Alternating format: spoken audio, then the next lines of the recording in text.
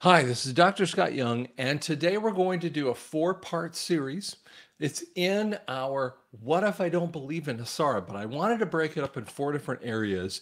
It doesn't benefit me. And we'll get into that and explain it pretty thoroughly. Coming right up.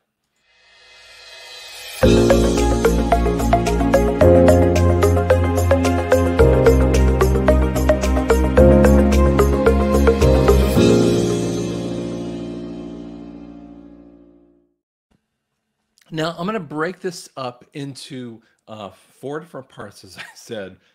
but why I want to talk about this, and each one we're going to give little tiny details that will help you through that. Okay. So, first off, that I keep hearing, and it's very common because it's in the background, is this conversation of fairness.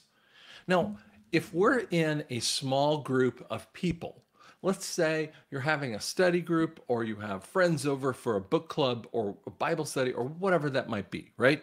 Can we create fairness or basically a structure that the people in that group might want? Of course. Um, so, um, you know, I have, I have this family member who um, they they have a Bible study kind of orientation, and when they're in there, it's young adults and and they're always picking their own kind of ways. Now, would I do it their way? No, necessarily. Would I not do it their way? No, not necessarily. I'm just saying it's it's okay for that particular structure. And frankly, they get into the Bible quite a bit, but they actually have a lot of fun in the middle of that. So that was that's the reason for that structure. So in essence, you might say, well, that's fair or that's effective for that particular group. But when you start getting bigger and bigger, like for a um, a town to a city to a uh, to a state, and then into regions and into nations, because and we're going to stop at, at that because that is one of the problems with globalism is they don't they think that everyone has to follow a certain set of, a set of guidelines um, America isn't going to follow what South America is going to do. South America, or specifically Brazil, isn't really interested in what might be helpful for Honduras. You see what I'm saying? And when you start like extending those standards outside of particular borders, it becomes much more of a problem. But you see, that same thing happens when you look at when we're talking about this NESARA piece. And let's give an example. So we're just going to talk about um, Australia for just a second. In Australia, with the NESARA GESARA, so um, Australia is her own country and has her own set of problems, right?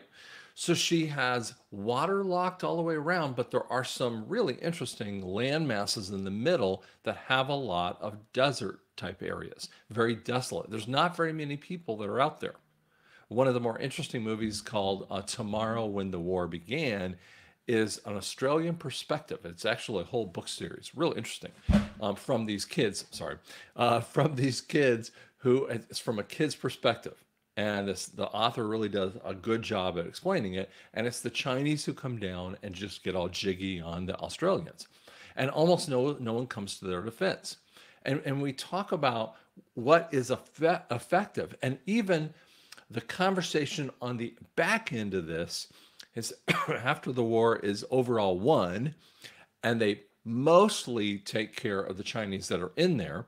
Um, they still have many of the Chinese in particular areas, and you go, well, that's not fair. And and you know, both sides will answer this fairness question, and I go, listen, you haven't. When you talk to me about fairness, I, I first look at those kinds of things on a more nationalistic scale of how do you create fairness, right?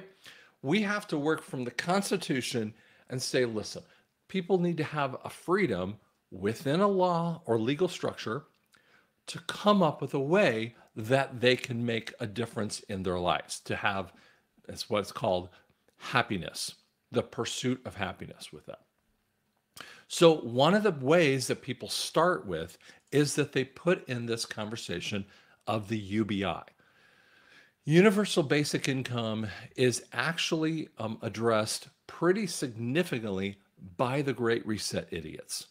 They want you to believe that if everyone had a universal basic income, And again, we are not talking about Social Security and disability, not talking about Social Security and disability when you talk about UBI, because UBI means universal. Do you see my point here? Universal basic income with that too. And in universal basic income, what we look at is let's, and I'm making up a number, let's just say it's $4,000 a month. And many people go, oh my God, I'd, I'd sign up for that in just a second. But here's what happens when you create a universal basic income, you would have an expectation upon what you want them to do. Now, if you're talking, again, we're not talking about Social Security and disability, right? If we're talking about people who, you know, who are getting $4,000 a month, are they contributed contributing into society? I mean, that's that's really the whole point. And and without getting, you know, Great Reset and stuff and fair or not, if you're going to pay the the people of of your country a UBI, you should expect something from that. For instance, the military does it today, right? If you get into the military and you are going to, you want to be an airplane mechanic, you want to be, um, like my sister, she was a helicopter mechanic. Uh, so it kind of changed her her focus. Let's say you were going to be an IT specialist or you were going to be a sniper or whatever that might be, right? And and you are looking at those particular job points. What happens is that you have a universal basic income. Actually, it's a somewhat of a merit-based point based upon your you know your entry status and your growth within it so the more value that you create the higher that your pay is but when you stop being more valuable you don't get the extra pay do you, do you catch the point? But guess what? You don't have any control over where you would go. And maybe you might not even have control over what you might do. You might be uh, I mean, I have a, a uh, sort of distant cousin, uh, nephew, and he's in the military, and he wanted to fly, uh, fly um, jets, and he actually did after going to Air Force. And yet, because of other injuries and him just not playing along, and this is his statement, and him not playing along, well, that that turned into he's not growing as much in the field. Now, Th- those are just realities of this of the role. But when you talk about UBI, you're saying to me that each person would create a value. That's what we do. If you have a valuable currency system, they have to create value. And I'm sorry, but that is just the fact of the matter. And if you give people $4,000, you create an entitlement of people. This is the exact problem that we're having. And this is what, where it started from is FDR creating this levels of entitlement. Now, there are some great points of what FDR was doing of, of Social Security, of, of disability kinds of things, basically, and unemployment as someone you know just lost their job it's not their fault but the points have to be and again i don't have problems with short-term kinds of things or people who cannot possibly work anymore because physically or age-wise they can't work again that's not related to this but UBI still has to say they have to do something in the society or they were just going to sit around. And that's the problem when you say that because you create that level of entitlement. Number two, when we explain to, when I have people, uh, truthers, who explain to people that we're going to return all the taxes. When was the tax code created? 1913 and the 16th Amendment. And it was created to be a 20 year locked excuse me time frame of 1% of Americans paying 1% of their amounts. This is what they're told. But as soon as the Great Depression, the fake way that they did this, um, and it's around 33, that they basically expand it to every single person. And they do it gently so that they didn't, you know, push push people. But it became more and more pervasive because what they wanted to do is expand their own personal money pool in their own pockets right? And so let's say you are um, you were born in 1947. So that means that you're, you know, um, a little over 80. Uh, isn't that right? If I did that right, let's just make it easier for me. Okay, you were born in 1944, and at that point you are um, you're 80 years old. So, and you know, 2024, we're 80 years old. the other person was 77. Sorry about that. And if you're if you're 80 years old, born in 1944, just in the middle of World War II, World War II, which would put you in the greatest generation viewpoint, just outside of the baby boomers, what you would say about that is that how many years of, of taxes would you be talking about? Well, if you started work just to ease sake and and uh, and uh, let's say from 1944 and you started in 62 at 18 years old, okay, and from 62 all the way until you know uh, let's just say 2010, you were working that whole time. That is you know almost 60 years or 58 years of taxes that come in. And if we take 58 years of taxes at, at just a minimum number of $10,000 of taxes, which is not necessarily the case, but let's just say that number, you're talking about over a half a million dollars, pushing on $600,000 of coming back to the person. Well, that's a massive amount of money. And I'm not saying that, that someone might or might not deserve it. It is not about deserving and it's not about fairness, but it's going like, okay, great. We did that for the 80 year old. I can almost get behind that, but it becomes a situation like when when do you stop it? If you said if you're born in make up a number, um, 1970, anyone from 1970 and before gets a certain amount of it, and then anyone 1970 and beyond um, gets a lesser um, or gets nothing, right? Well, what if you were born in January 2nd of 1970? You, you were only two days away from getting all of your, your income tax coming back to you. And you're going, well, that's not fair. You see, and, and you have to have a shut off in those kinds of things. And it gets really convoluted and very difficult to answer those questions. And that's why it is it, it is not about fairness it is not about like trying to make everything perfect and we will get into that a lot more then this is and i'm not going to give his name but this started in 2021 and when we started hearing about the interest is coming back to you which means all compound interest and we're talking more specifically obviously cars and houses but it could be other kinds of things and, the, and there were there were conversations, and this is literally the conversation that I was hearing in 2021. Well, if you bought a car too early, like you know, only two years old, and they were they were literally saying the, the exact date. If you bought a car after 2019, which is only two years old at that moment in time, you wouldn't get all of your interest back. Okay, why not? Um, did you not like, you know, did you not qualify for that kind of thing? oh but if it was if it was older than that then you might get your interest back or a house or anything else and you just go like when does this because here's what happens all of these people are trying to answer this one thing is it fair so they kept coming up with conversations whether it's ubi whether it's return of taxes or return of all your interests kind of things and they were answering this fairness thing you cannot answer fairness. You think you can, but as soon as you do what I would call, in a weird way, the group politic, which means everyone in that particular group, when you start coming up with it, well, then she's not getting as much as he's getting.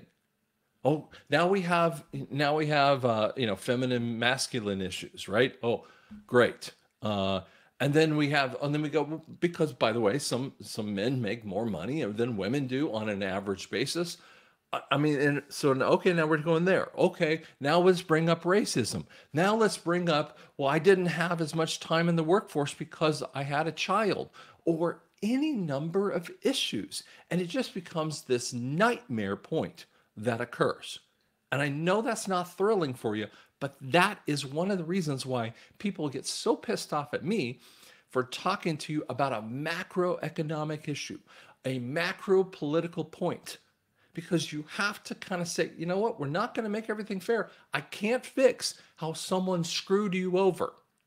Now, over behind me are some books. One of my books is, and this is a notebook here, is dedicated in the very beginning of this. I looked back over my history and looked at people who screwed me over. And there's a guy named Adams. He's dead. He's far, far dead. So I, you know, we won't know who he is. But he was the cooperating teacher from my university, and he screwed me out of my student teaching, which screwed me out of the ability to have my teaching certificate and to have that part of the degree. Because in essence, you you have a dual degree when you're doing education, at secondary education. You have English and education. That's how they, they looked at it when I was going to school. And so, I mean, I, I was it was stolen from me. Now, I was mad about it for a long time. And God goes, you know, you got to get over this. You can't go back in time and fix that.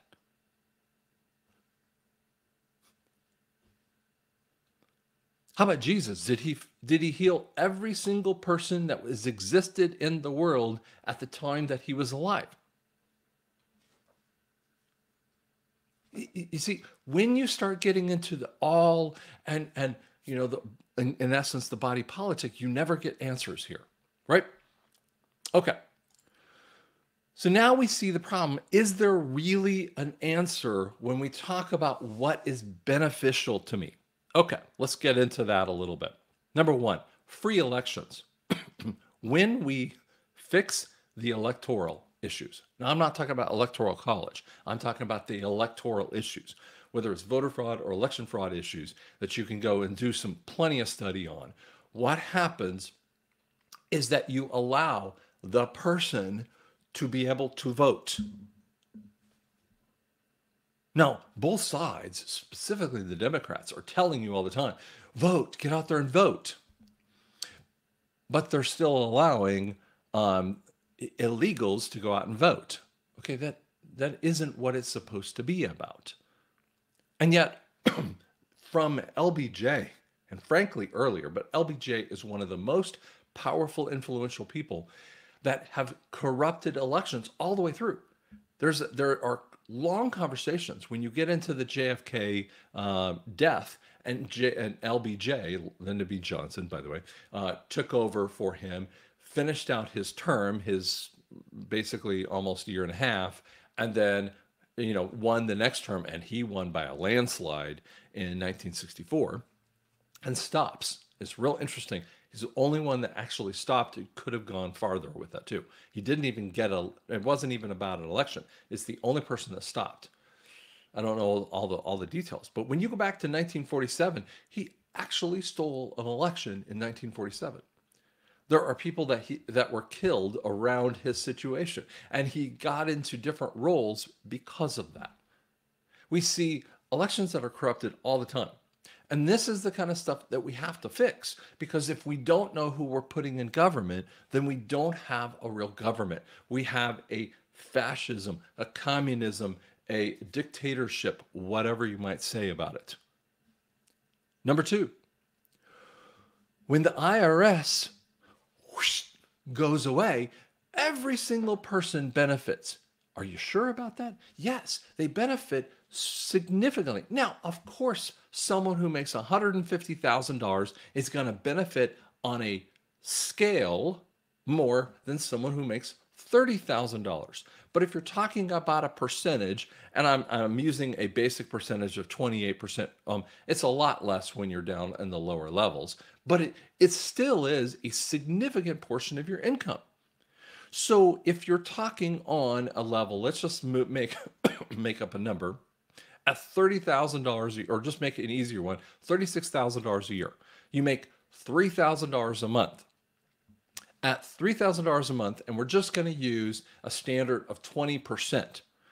That is um, basically 600 bucks that comes out of your paycheck in that way, right? So 20% of that $600, what if you added $600 into that $3,000 a month paycheck? That changes everything. D- do you see my point? Let's use that at, at a higher rate if someone is an employee, not an owner, of a business, but makes a $100,000. And let's say that person, she's up here at $100,000 making that and she's paying 30% taxes. You're talking, you know, $30,000 a year. I mean, holy cow, that's like 2800 bucks a month that that doesn't come out of her paycheck. What can she do with that? What about families? What about business owners? What about a whole bunch of different things? I mean, there are times that as a business owner, I don't even pay myself much of a paycheck, less than some of my employees. And yet, then the company gets a profit, and then I have to like write a check out of there. Like, it's because of the capital gain stuff. This is how sick it is, right? So I hope that gave you kind of this is the beginning. I haven't we're not even close to finished here, but we're trying to give you an understanding of how it might benefit. But there's no way to be perfect for you. That still might piss you off and you might get angry and you want to leave comments. You got to be respectful. If you're not respectful here, and you can say, I, I disagree with you, I'm okay with that. Um, but I've already heard it a thousand times. And the answer is, I'm not trying to make, make you happy. I'm not trying to like win your money because I haven't asked for money from you. Do you notice there's no advertising other than whatever YouTube might do? I'm not asking for anything from you. So do I benefit from telling you some telling you ugly truths? No. Hope it gave you an idea. Thanks so much.